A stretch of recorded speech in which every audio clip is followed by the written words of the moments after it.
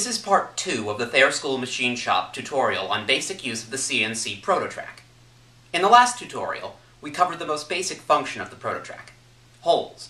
Now we will cover another one of its features, profiles. Profiles are geometric shapes that the ProtoTRAK can machine automatically. We will cover four kinds of profiles here. Standard profiles, pockets, islands, and text. Let's start with one of the standard profiles, a rectangle. I've already loaded a square half-inch piece of stock aluminum into the vise and zeroed it to the top left corner. Again, if you need help with either squaring or centering, see our tutorial on basic mill operations. Erase the current program, if one exists, by returning to the main menu with the Mode key, followed by Edit, Erase Program.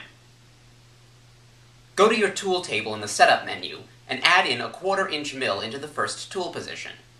Be sure you specify the diameter appropriately, or the profile will be machined incorrectly. To add a rectangular profile event, select the Program menu, and go to the beginning of your program. Add an event, and select Rectangular Profile. We will now specify the details of the profile. The coordinates x1 and y1 refer to the corners of the rectangle we want the ProtoTRAK to begin on. Here we will select 0.5 inches and minus 1 inch for our starting point. The coordinates x3 and y3 refer to the third corner of the rectangle. Since the combination of first and third corners completely defines a unique rectangle, they are all that the ProtoTRAK requires you to specify.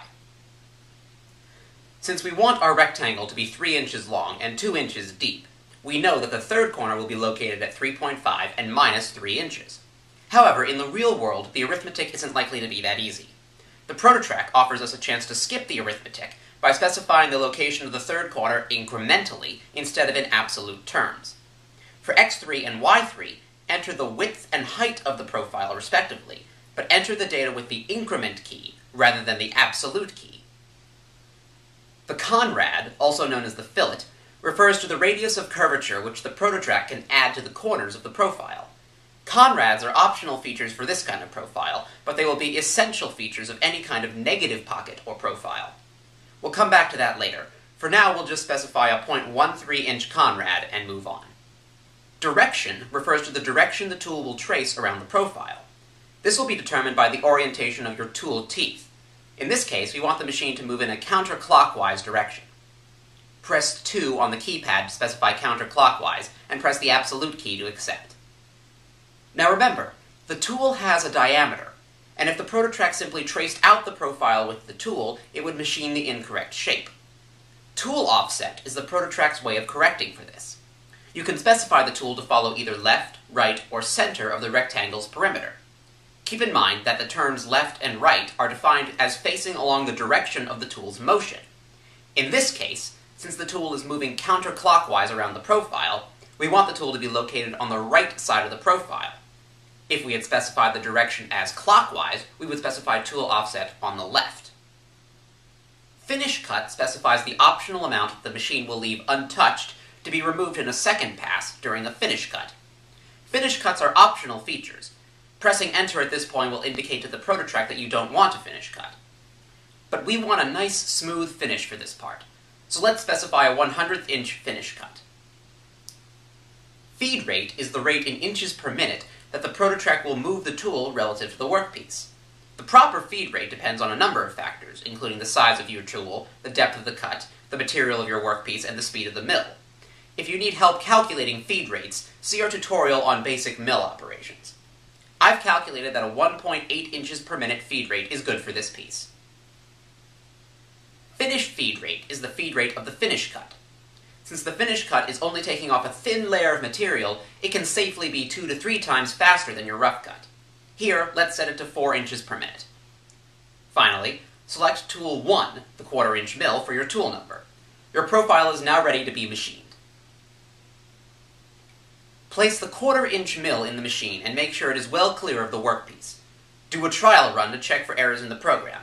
If any errors are found, go back into your program and make the appropriate correction.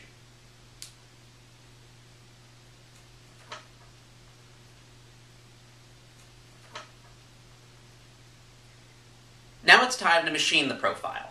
Start the spindle and run the program. When prompted to, set Z, Plunge the mill into the part down to the correct depth. Press Go or tap the black button on the hand clicker. While the ProtoTRAK is running, it's a good idea to add cutting fluid or oil to the part. This will keep the part cool and will reduce wear and tear on the tool. Keep the cutter clear of chips and debris with the air blower. If at any time you need to stop the program, just press Stop on the ProtoTRAK or tap the hand clicker. Be sure to stop the program and clear the tool from the workpiece before you stop the spindle.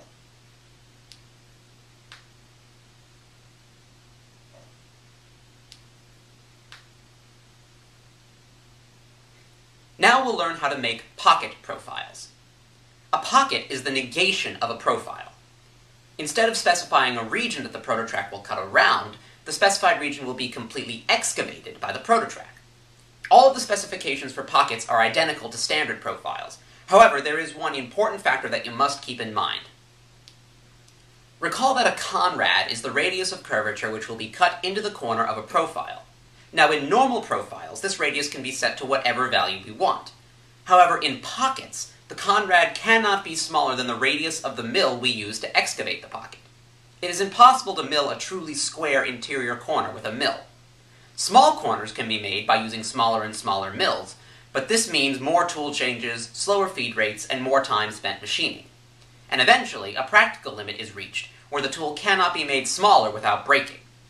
This is an important factor to keep in mind when designing for manufacture. Since we are using a 1 quarter inch mill to machine the pocket, the radius cannot be smaller than half the diameter of the tool, in this case, 0.125 inches. Now let's look at islands. Islands are a more advanced type of profile. A normal profile excavates a shape, but pays no attention to the material around it. But let's say you want to remove material from around the profile. One example of this would be if you were machining a peg to be inserted into a hole. In this case, we would want to cut an island profile. An island profile is described just like a normal profile, with the addition of four more specifications, the x and y coordinates of the pocket corners. These are the maximum extensions of the excavation. I've specified the maximum extensions of the part here, since I want to remove everything that's not physically part of this profile. One final type of profile that the ProtoTRAK can do is text engraving.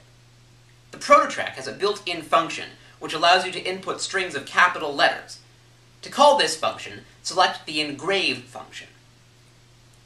The beginning coordinates are the location of the lower left corner of the first character.